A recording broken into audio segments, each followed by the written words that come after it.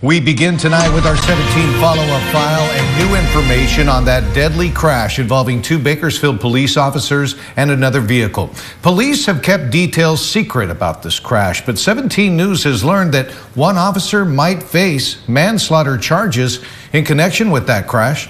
17's Michaela Armstrong has been investigating and joins us in studio now with the latest on what we know. Michaela.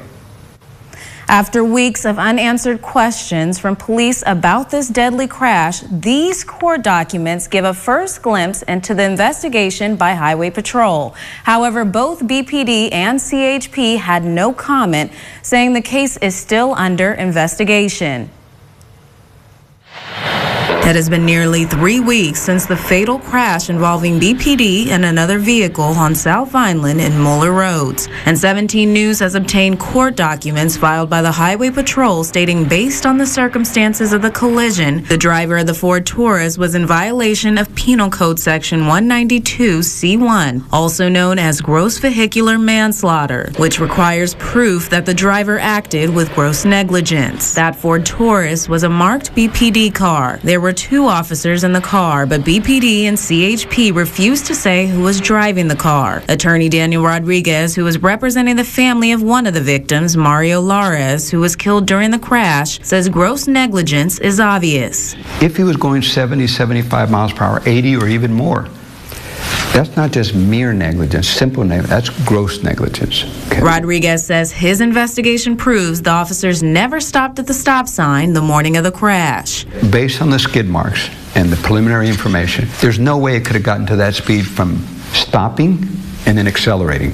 So that tells us, common sense tells us, that he never stopped at the stop sign.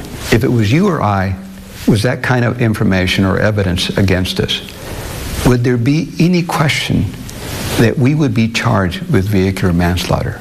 Now it is up to the district attorney to decide whether it's a misdemeanor or a felony. They have the ultimate say, the last word on the matter, not the CHP. However, he believes with the evidence, the choice is easy. The question becomes is he going to be treated, is this officer going to be treated like he's above the law because he's got a badge?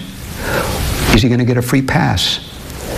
Or is he going to be treated the way you and I would be treated.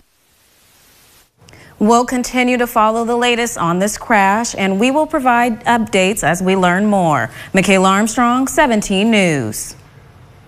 All right, Michaela, thank you. And this footnote now since that crash, the Highway Patrol has declined to answer even basic questions about the incident, including which officer was driving, whether or not the officers were wearing safety belts, if the police car's emergency lights and siren were activated, and if anyone involved in the accident was given a drug or alcohol test. You can find more on this story on our website, kget.com.